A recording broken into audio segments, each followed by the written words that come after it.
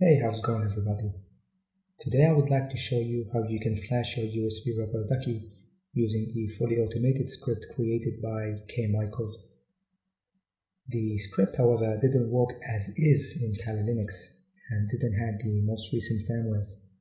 So I've updated it and now it is fully functional in Kali with the latest firmwares.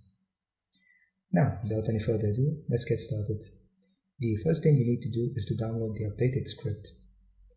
And to do that, open up your web browser. And this link is going to be in the description. Simply press download.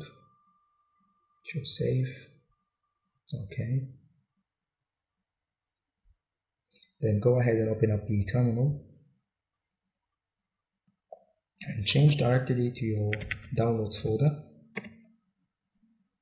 Next, we're gonna need to unzip it. So type tar tag xzvf ducky tag flasher dot tar dot gz. Then press enter. Then we're gonna need to change the directory to the ducky tag flasher. So type cd ducky tag flasher And the next thing we need to do is to give setup.python script executable permissions. And to do that, we simply type chmod plus x setup.py and then press enter. And now we are ready to install it. So we type python setup.py and then press enter. And as you can see, the Ducky Flasher has been successfully installed.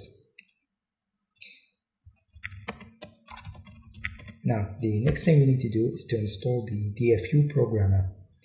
And to do that, we type apt tag get update and and apt tag get install DFU programmer and then press enter.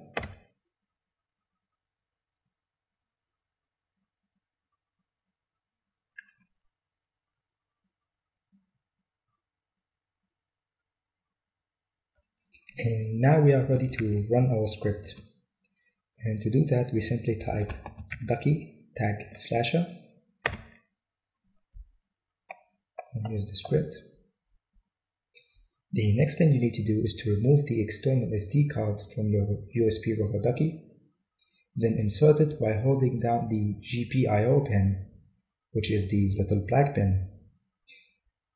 And this will put your rubber duck in a DFU mode from now on, it is a simple process of choosing the right firmware for your needs. As you can see here, we have four options.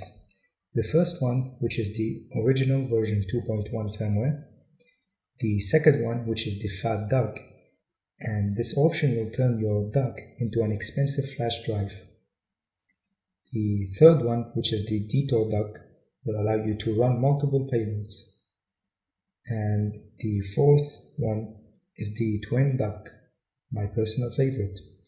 We'll mount the duck as a keyboard and a mass storage at the same time, which is awesome.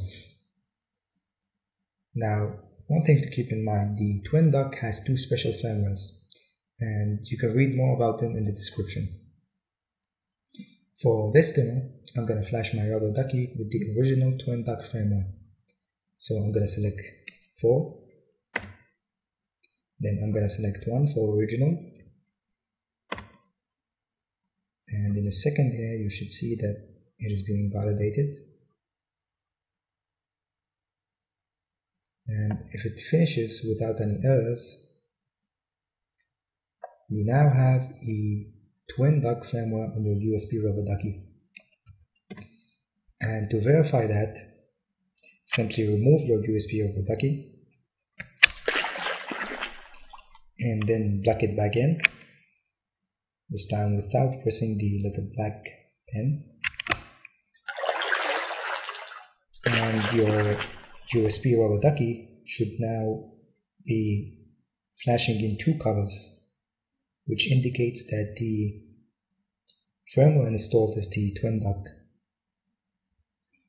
so that's it for today. If you have any problems, please comment below and I'll do my best to help you out. Thank you for watching. See you next time.